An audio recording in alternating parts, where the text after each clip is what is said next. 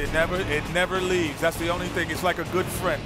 Your legs are like those friends that's only with you in the league, and then they leave you when they Yeah, I, with you. I don't know what those guys we were showing uh, would do in a buzzer beater situation, but that is the category we're at. Regular season buzzer beaters, and here are the nominees Kobe, Dwight, Sheed, Mo Pete, Devin Harris also in there. And this was very close for second place. Oh, that was a travel. But Devin Harris finishes third here. That, That was, not a travel. No. That's a travel. Look, the ball No. lose it. Ball, the ball In the hit. air, one, ball two hit the steps.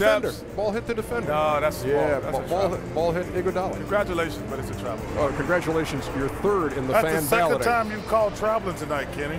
Kobe, the first, both were travels. Kobe actually got called for. it. Second place Oh, this was nice. This was nice. The three at the buzzer. By D Wade in 2009. Versus so the Bulls. that edges out uh, Devin Harris. That was a TNT game as well, I believe. Uh, uh, I don't think it was. it was not a TNT game. was not- oh, no, I was it watching wasn't. that Way to pay attention at work. I was well. I watch games outside of work. Here's That's- your winner. A guy, who, a guy who does it twice in the same game gets the win. Kobe Oh, Bryant against traveled. Portland. He traveled. Now, you know what?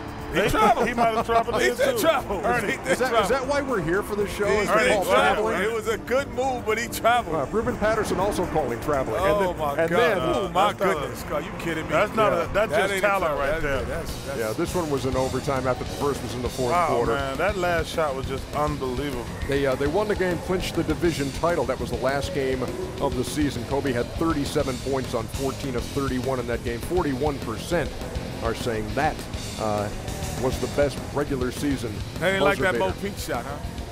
Oh man, I love that. That Mo Pete that shot was was where tough. Michael Ruffin threw the ball up in the air. And, he- and he grabbed it, and he that, that I, was I my remember favorite. you should- that should have won just on principle alone. Oh, just Oh, because we would have loved to have seen it again. Uh, Is there any way we can re- rehash that and show that again? Well, maybe could we revote next year? How's that? the- no, For I, all I think decade they plus got to have